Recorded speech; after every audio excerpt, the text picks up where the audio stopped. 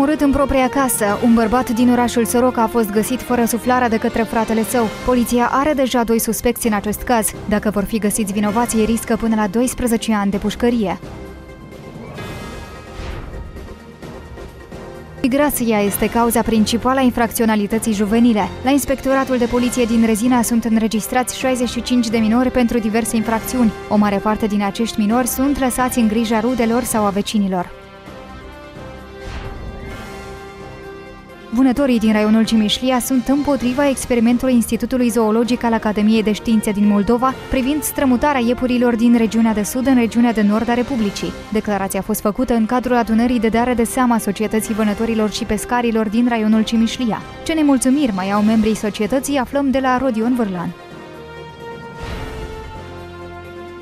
De mesaje de felicitare și mulțumiri pentru aportul adus la dezvoltarea economică a instituțiilor în care activează au avut parte contabilii din un gen de ziua lor profesională. Această zi este marcată anual la 4 aprilie începând cu 2011. Mai multe detalii ne spune Mariana Gastaș.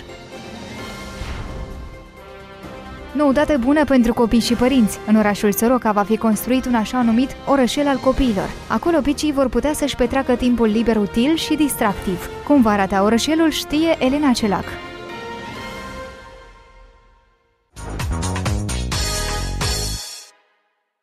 Un centru universitar de simulare în instruirea medicală va activa în cadrul Universității de Stat de Medicină și Farmaceutică Nicolae Destemițanu. Centrul a fost reconstruit în totalitate și urmează a fi dotat cu utilajul necesar. El va avea departamente de instruire prin simulare la obiectele preclinice, la medicină internă semiologie și chirurgie generală semiologie, de fidelitate înaltă, de lucru prin metoda pacientului standardizat. De asemenea, centrul este dotat cu săl de studii de testare practică. El va fi funcțional începând cu anul de studii 2013-2014. Centrul Universitar de Simulare în Instruirea Medicală reprezintă o nouă abordare în medicină, fiind primul de acest fel în țara noastră noastră. Echipamentul care va fi plasat aici va permite studenților și rezidenților să obțină la fel ca în realitate toate tehnicile de operație, examinarea potențialelor pacienți. Aici va avea loc și testarea cunoștințelor studenților. Proiectul a fost lansat în anul 2010 cu susținerea Biroului Regional European al Organizației Mondiale a Sănătății și Delegației Uniunii Europene în Republica Moldova. Un bărbat în vârstă de 55 de ani a fost găsit mort în propria casă chiar de fratele acestuia. Potrivit poliției, bărbatul locuia de unul singur. În noaptea spre 2 aprilie, acesta și-a chemat doi prieteni. La un moment dat, între ei s-au iscat o ceartă, după care și o bătaie cu pumni și picioare. Loviturile au fost atât de puternice încât stăpânul casei a decedat pe loc. Cadavrul fratelui său în casa proprie a cetățeanului decedat, în care ultimul locuia de unul singur.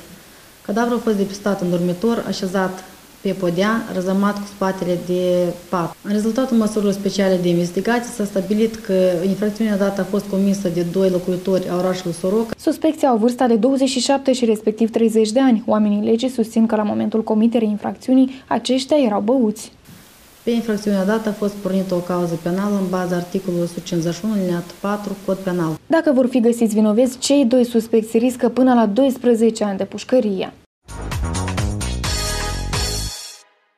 Migrația este cauza principală a infracționalității juvenile. La Inspectoratul de Poliție din Rezina sunt înregistrați 65 de minori pentru diverse infracțiuni. Aceștia stau la evidență pentru furturi, comportament violent, abandonarea școlilor, vagabondaj și altele. O mare parte din acești minori sunt lăsați în grija rudelor sau a vecinilor. Patru minori au pătruns într-o locuință din orașul Rezina, de unde au stras bunuri materiale. Părinții acestor minori sunt plecați peste hotare. Conform legislației în vigoare, minorii dați sunt luați la evidență profilactică la Birou Siguranța Copiilor. Pentru evitarea infracțiunilor de către minori, periodic sunt organizate întâlniri cu tinerii din raion. Inspectorii consideră că și adulții poartă responsabilitate pentru faptele copiilor. Pentru a evita cazuri neplăcute, atenționăm părinții, rudele, în grija cărora au rămas copii, să nu-i lasă fără supraveghere. De la începutul anului curent, pe teritoriul raionului Rezina a fost înregistrat un caz de furt săvârșit de către minori, părinții cărora sunt plecați la muncă peste hotare. Vânătorii din raionul Cimișlia sunt împotriva experimentului Institutului Zoologic al Academiei de Științe din Moldova privind strămutarea iepurilor din regiunea de sud în regiunea de nord a Republicii. La moment, populația iepurilor în regiunea de sud este de 25-36 de capete la 1000 de hectare, iar în regiunea de nord doar 15-20. Declarația a fost făcută în cadrul adunării de dare de seamă a Societății Vânătorilor și Pescarilor din raionul Cimișlia. Experimentul este s-a făcut în, în Polonia, în anii 70, și iepurii s-au dus de la, din, din, dintr-o regiune la altă, în altă regiune, la 300 de kilometri, și pe câțiva timp iepurii s-au întors înapoi de unde au luat. Și adică experimentul a ieșuat. Se întreabă care e sensul experiment, Vânătorii din Cimișlia s-au declarat nemulțumiți și de faptul că, deși Asociația Raională varsă anual bani în contul Asociației Republicane a Vânătorilor și Pescarilor, pentru organizarea competițiilor vânătorești nu li s-a acordat niciun leu. Anul trecut, cu forțele proprii, la Cimișlia s-a construit un tir pentru competiții și antrenamente ale vânătorilor. Societatea vânătorească din Cimișlia solicită ajutor la procurarea a două aruncătoare de talere care costă circa 15.000 de lei am uh, luat decizia să adresăm un demers concret către societatea republicană ca uh, procurarea uh, aparatelor de aruncat taliere pentru pregătirea personală a vânătorilor să fie procurate din veniturile care le acumulăm noi, societatea raională. Dar noi acumulăm aproximativ 200.000 anual, care se transferă direct pe conturile societății republicane. Potrivit geneticianului Gheorghe Florea, în scopul reglării numărului animalelor de pradă, în anul trecut au fost nimicite 310 vulpi, peste 240 de câini hoinari, 210 ciori gri și coțofene și 16 pisici sălbatice. Raionul Cimișlia a rămas practic fără porumbei, din cauza numărului mare de păsări răpitoare. Deși ar trebui să deschidem noi vânătoarea în luna, luna uh, uh, august, eu propun să ieșim cu, cu, cu ideea la uh, Chișinău, vânătoarea la porumbie și la păsădeală să fie deschisă odată fazană. Societatea Vânătorilor și Pescarilor din Cimișlia numără 425 de membri, organizați în 40 de colective, care gestionează o suprafață de 84.000 hectare.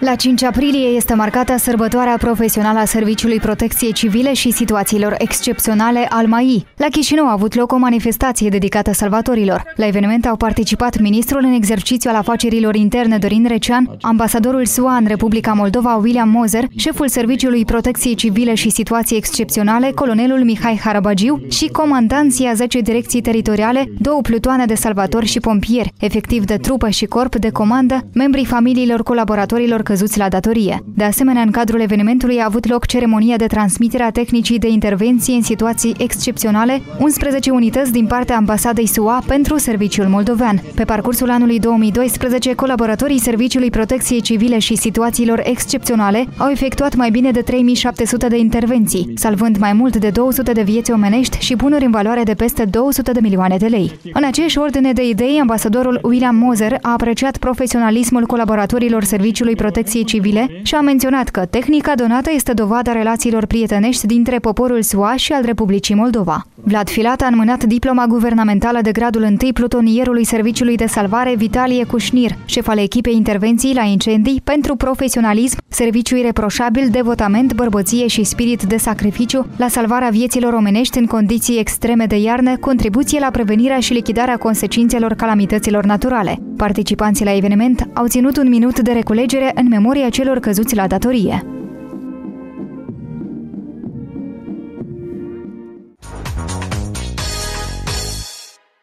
Transportatorii de pasageri nu respectă cerințele postului pe care îl dețin. Asta a declarat șeful Inspectoratului Teritorial de Stat Ungheni, Victor Reznic. Afirmația a fost făcută în cadrul ședinței comisiei care s-a întrunit pentru a discuta funcționarea transportului auto de călători și bagaje și asigurarea securității circulației auto. Inspectorul fiscal însă a evitat să dea numele agenților care activează cu încălcări ale legislației. Cerințele puse o să-i facă să se retragă cei care nu au bună intenție, bun lucrez, să acorde servicii calitative de transport a călătorilor. Cerințele care sunt înaintate o să fie o întărire a disciplinei și siguranței călătorului la trafic. Înseamnă că sunt agenți la care veți... Sigur, sigur că da, că ei sunt. O să, o să vedem pe parcurs, deci care o să încadreze în cerințele respective. De cealaltă parte, majoritatea agenților economici cu care am luat legătura refuză să se expună la acest subiect. Doar unul dintre ei ne-a spus că activează fără încălcări. Nu crezut mătare să am un colectiv de 60 de șoferi să, cu, să activez ilegal.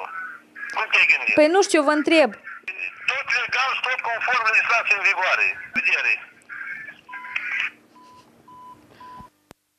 Șeful Inspectoratului Fiscal a propus anumite amendamente la condițiile de obținere a autorizației pentru transportul de călători. Acestea vor asigura prestarea serviciilor de calitate și nu vor permite monopolizarea și concurența neloială a agenților. Următoarea ședință a Comisiei se va desfășura marți. Până atunci, membrii urmează să analizeze amendamentele propuse.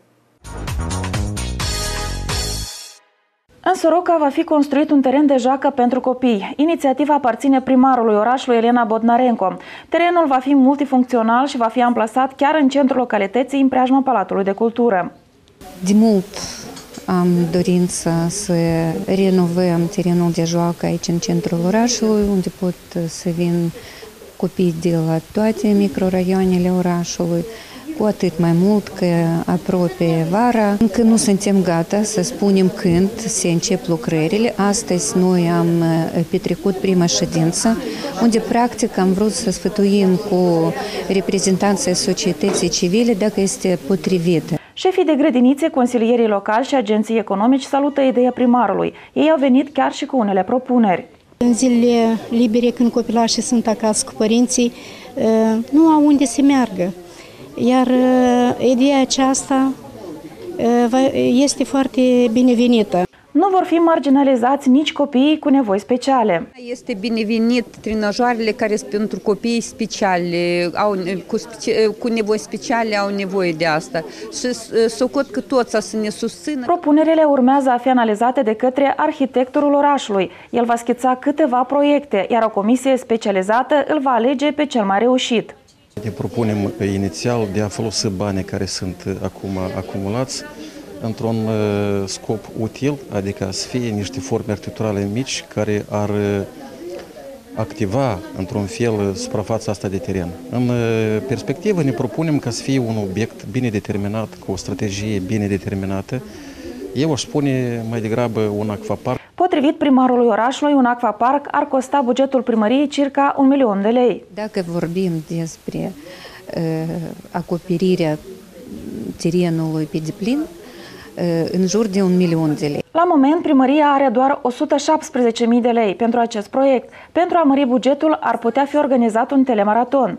În susținerea ideii uh, petrecem și telemaraton, avem uh, o practică, avem o bună colaborare cu Sortivi. Ar fi bine să petrecem telemaratonul cât mai repede, în primul rând ca să știm cu ce sumă o să dispunem și în al doilea rând totuși suntem în apropierea Paștelei.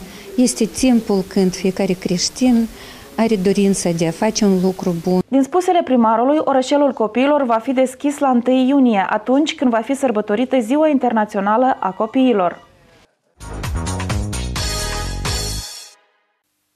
Din 2011 la 4 aprilie, în Republica Moldova este marcată Ziua Contabilului.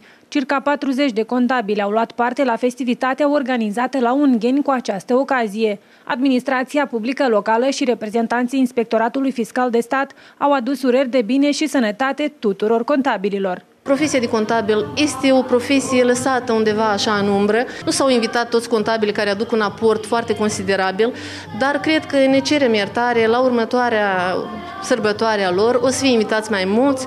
Principalul că s-a mișcat piatra din loc și s-a început eh, să se serbeze această profesie foarte importantă. A fi contabil este o profesie foarte responsabilă. Este o activitate foarte nobilă și totodată este o profesie care dumneavoastră, zi de zi, contribuiți la dezvoltarea economiei, creșterea bunăstării Republicii Moldova.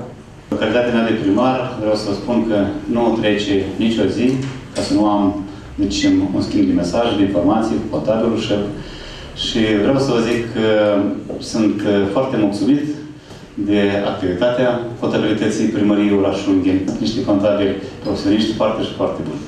Contabilii prezenți la eveniment spun că se bucură că au și ei o zi profesională. Este o sărbătoare deosebit de importantă, că oricum, fără contabil, o întreprindere nu-și poate duce activitatea.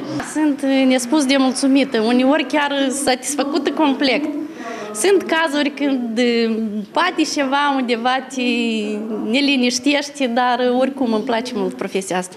Activez din anul 1971. În prezent e mai complicat, dar eu singur am început lucru încă de la bilele astea, pe urmă arifmometr, Felix, tot. În acest an, la 2 aprilie, a avut loc primul congres al contabililor din Republica Moldova cu genericul Rolul contabilului în asigurarea sănătății economiei naționale, la care au participat și reprezentanți din raionul Ungheni. Dacă să ne gândim la istorie, ultimul congres pe acest pământ românesc a avut loc în anul 1933 în Cernăuț.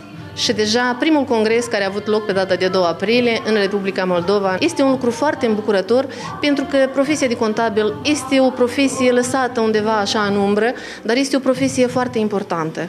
Pentru că sănătatea economiei naționale se bazează pe profesia de contabil. Contabilul este ca un medic. În raionul Ungheni sunt înregistrate în jur de 3600 de întreprinderi.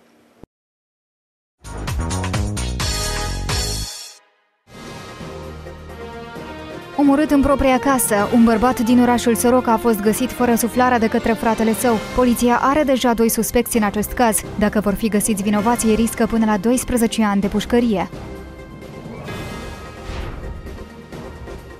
Migrația este cauza principală a infracționalității juvenile. La Inspectoratul de Poliție din Rezina sunt înregistrați 65 de minori pentru diverse infracțiuni. O mare parte din acești minori sunt lăsați în grija rudelor sau a vecinilor. Vânătorii din raionul Cimișlia sunt împotriva experimentului Institutului Zoologic al Academiei de Științe din Moldova privind strămutarea iepurilor din regiunea de sud în regiunea de nord a Republicii. Declarația a fost făcută în cadrul adunării de dare de seama Societății Vânătorilor și Pescarilor din raionul Cimișlia. Ce nemulțumiri mai au membrii societății aflăm de la Rodion Vârlan. De mesaje de felicitare și mulțumiri pentru aportul adus la dezvoltarea economică a instituțiilor în care activează, au avut parte contabilii din Ungheni de ziua lor profesională. Această zi este marcată anual la 4 aprilie începând cu 2011. Mai multe detalii ne spune Mariana Gastaș. Noutate bună pentru copii și părinți. În orașul Soroca va fi construit un așa numit orășel al copiilor. Acolo picii vor putea să-și petreacă timpul liber util și distractiv. Cum va arata orășelul știe Elena Celac.